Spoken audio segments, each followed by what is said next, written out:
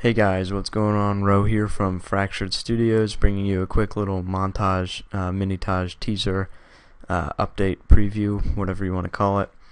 Uh, I figure since some of you have probably subscribed to see montages, yeah, it might be good to show you that I'm actually working on some stuff because I've been procrastinating quite a bit on putting out videos, uh, doing a lot of the commentaries.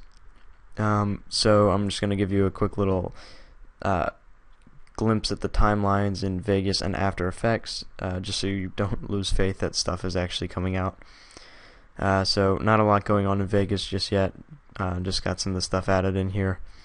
Uh, but that's a quick look at that. And then After Effects, there's actually kind of a lot of stuff going on.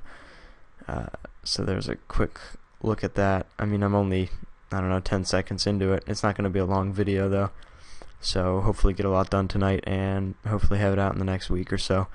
Uh, so that's pretty much it, guys. Uh, just a quick video today.